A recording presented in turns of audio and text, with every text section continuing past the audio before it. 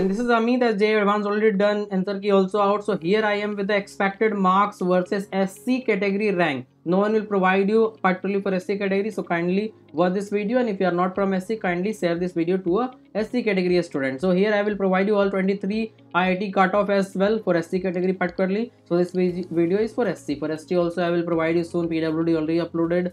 For OBC also already uploaded. EWS and general also. So you can check the other video also so 300 marks will give you one rank 100 percent sure. If you score 200 under 15 if you score 180 under 90 160 under 180 150 under 250 rank. For 140 under 340 for 130 under 440 for 120 under 60 uh, 630 and for 110 marks your rank will be under 900 and for 100 1.3 thousand.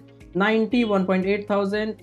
And for 80 2.5 thousand. And 70 3.5 thousand. 60 will give you 5000 rank so these are the data regarding the SC category that is marks versus SC rank. Now I will discuss SC category cutoff. Before that I would like to inform you about my complete counseling guidance.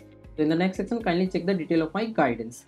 Here I would like to inform you about my complete guidance to get the best college based on JEE score. That is based on JEE score there are lots of counseling as you also know JoSAA counseling to get IIT and IT triple IT GFTI college and there is CSAB counseling after JoSAA to get NIT triple IT GFTI college that is called NIT plus system to get the good uh, college at your score to get the better college that is better branch and better college. Both is important for your future career. So for everything i will be guiding you one to one and also at low score how you can get the nit by doing the best counseling.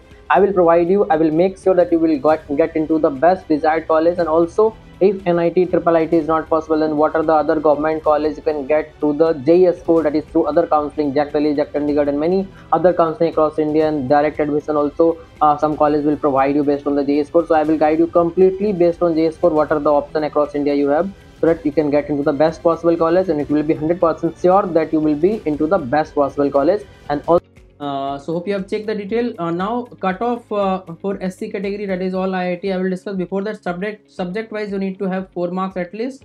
That is by combining both paper in physics chemistry math you should have four marks and total 47 to 50 marks you should have to clear the j advancements you will be into the rank list of j so now i will discuss tier 1 that is top 7 iit college if you want CSE then 200 and 700 rank. It is for male and female. Average 15 means tier 2 800 and 1.6 thousand rank. Lower 23 means tier 3 college iit 1.3 and 2.2 thousand means after slash the data is for female student. So electrical 650 1.6 thousand 2.5 thousand. Tier 1 to 3 male.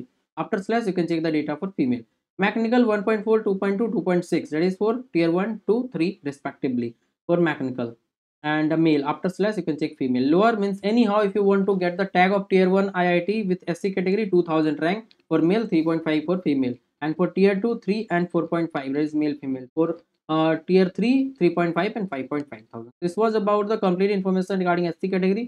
Kindly subscribe the channel so, so that you will get all the updated information until your admission is done. And if you want my personal guidance you can contact me so that you, i will guide you one to one personally. Thank you